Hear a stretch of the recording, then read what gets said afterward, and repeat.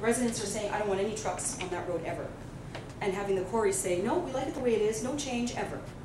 That doesn't get us anywhere. We have to get some kind of compromise. And compromise is not a weakness, it's a good thing, right? It's to, to try and find a solution. So, you know, you, it may be part of the solution to say, well, maybe we need to, to avoid the residents fearing these problems. And quite frankly, we hope that the quarries are going to be successful, more successful.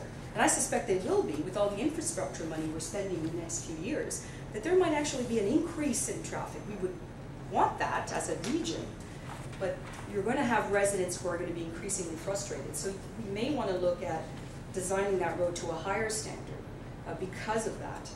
You know, I think that all of those options should be on the table where we're looking at, you know, making sure that we're not just following the timetable for regular roads, that we, may want to do it sooner. I know you said we had to do that within five years, but maybe we should be looking at that now and then doing it again in a briefer period of time because of that traffic. So as long as, as all those options are going to be open and discussed, I think, I think then you can come to some kind of compromise.